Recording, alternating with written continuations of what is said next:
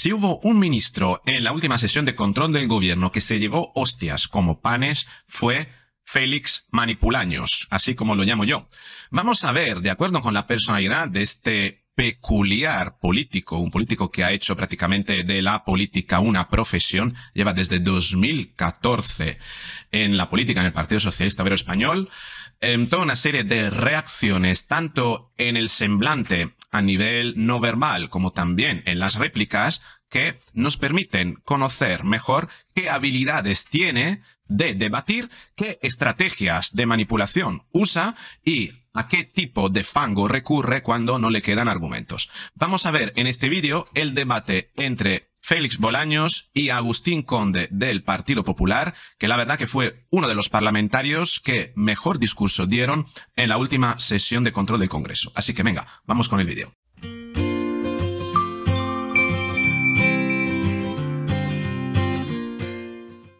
Señorías, hace unas semanas el hijo del presidente Joe Biden fue condenado por eh, en un tribunal de Estados Unidos y su padre reaccionó diciendo que esa condena era la prueba de que en su país nadie estaba por encima de la ley. Hace también unas semanas el expresidente Donald Trump fue condenado por un tribunal por malversación y su reacción fue decir que el juez y el tribunal estaban movidos por motivaciones políticas, que era objeto de una persecución de sus adversarios, que era objeto de lawfare y de fake news. Señorías, hace unos días la mujer de Pedro Sánchez fue imputada por un tribunal y Pedro Sánchez reaccionó arremetiendo contra el juez, diciendo que se movía por intereses políticos, culpando a la oposición de aquella causa y diciendo que era objeto también del OFER. Supongo que los votantes socialistas estarán espeluznados y horrorizados de ver el extraordinario parecido que hay entre Pedro Sánchez y Donald Trump. Buenísimo como argumenta lo parecida que es la línea de argumentación de Donald Trump, que representa para el socialismo prácticamente el, mal, el diablo, lo ultra, ¿no? Y cómo el mismo socialismo, el mismo exponente, el mayor exponente del socialismo, que es Pedro Sánchez, hace uso de las mismas líneas de argumentación de Donald Trump. Es curioso, ¿eh? Es muy curiosa esta, em, esta comparación, que es eh, realmente verídica, se basa en la evidencia, y además me encanta la em, forma que tiene este diputado de argumentar. Fíjate eh, qué sencillo, con las manos cruzadas, con una postura muy correcta, muy educada, centrándose sobre todo en su voz sin tener que gesticular, sin aristas, con muchísima amabilidad en los gestos, pero muchísima sagacia también, muchísima inteligencia y educación a la hora de presentar los argumentos. Seguimos con Conde. Señor ministro, con estos antecedentes le pregunto, ¿cree que su gobierno está interfiriendo en el funcionamiento de la justicia? Gracias, señora presidenta. Gracias, señor Conde, por sus buenos deseos sobre mi salud. Y le tengo que decir, como ministro de Justicia, que efectivamente me preocupan las interferencias que se producen en la justicia. Y ayer mismo, en la sesión de control en el Senado, tuvimos oportunidad de ver cómo senadores del Partido Popular y senadores de Vox, en, en esa comunión que tienen ustedes de destino en lo universal, criticaban y descalificaban a tribunales porque no habían tomado decisiones que correspondían con su tesis.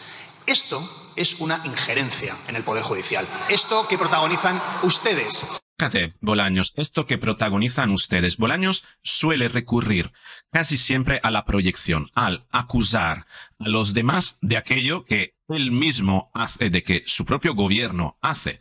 Esas injerencias, esas eh, formas de eh, decir, a veces dicen, respetamos la justicia, pero el caso se tiene que archivar, el mismo Bolaño, ¿no? Mandando a los jueces lo que tienen que hacer, casi usurpando su poder o prevaricando moralmente, al menos si no es eh, legalmente, ¿no?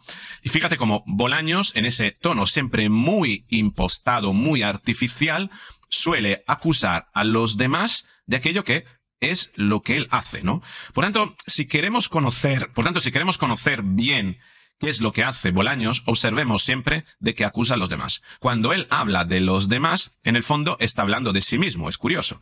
Seguimos. Y les hace gracia, me imagino, porque critican a tribunales que ustedes consideran que no les dan la razón en algún caso. Esto es lo que está haciendo, lo que está haciendo todo el gobierno con el caso de Begoña.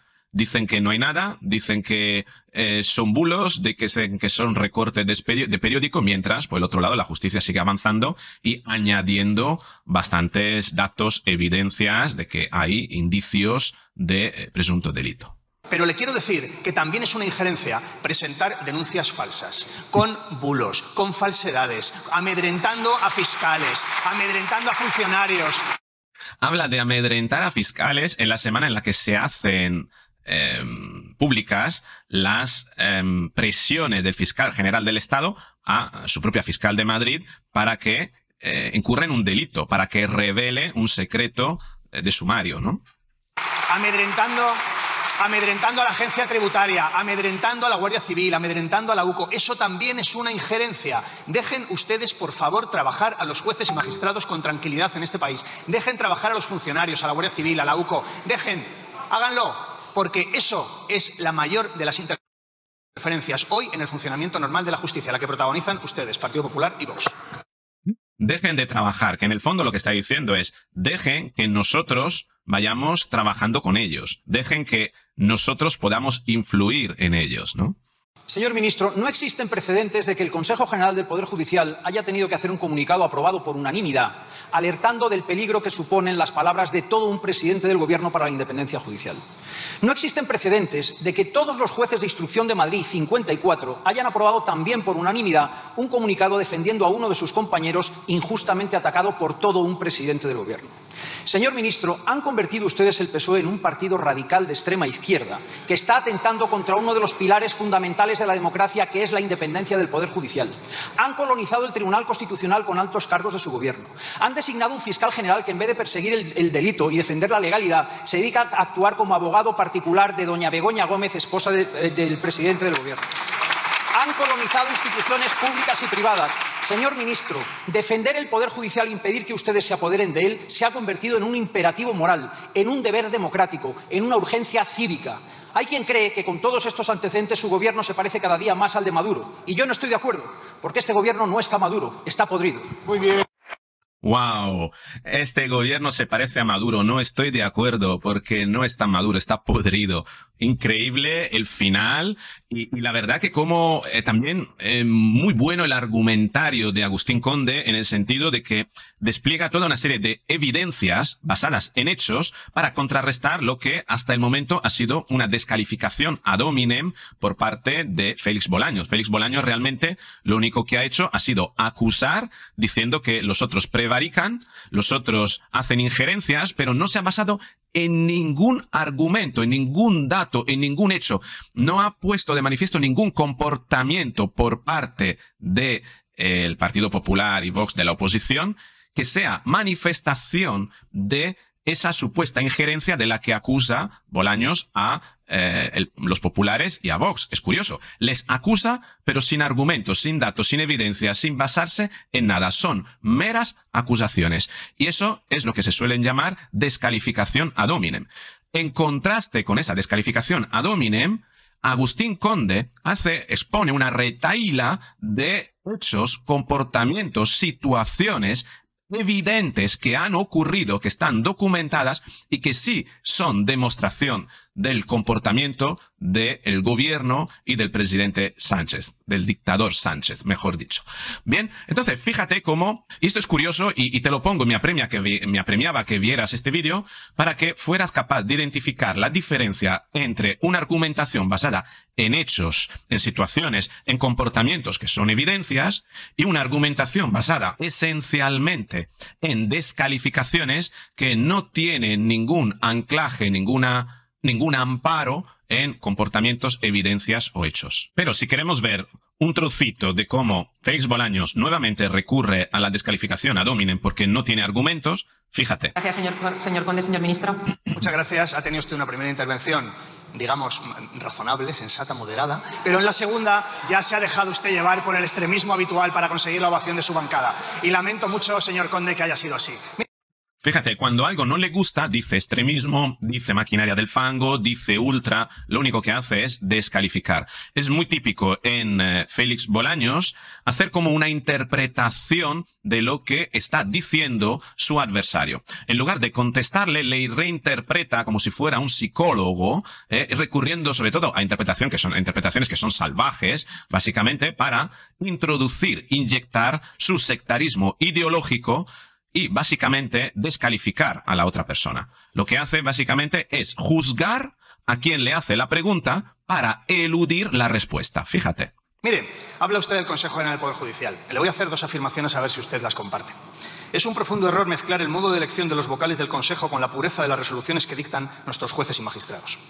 En España, el juez o magistrado que quiere ser independiente puede serlo. No se rompe el principio de separación de poderes porque en el momento de integración de los vocales en el Consejo hay una decisión del Congreso. ¿Está usted de acuerdo con estas afirmaciones? Efectivamente, lo dijo usted. Bueno, pues lo que hace falta, lo que hace falta ya que efectivamente reconoce que lo, que hace falta y que usted dijo estas palabras, que cumplan, que cumplan la Constitución, que cumplan la ley, que cumplan lo que dicen. Y si no le importa, y si no le importa, no descalifiquen ustedes, como ha hecho en esta intervención, ni al Constitucional, ni al Fiscal General del Estado, a instituciones fundamentales de nuestro Estado de Derecho, que es un Estado de Derecho ejemplar. Gracias.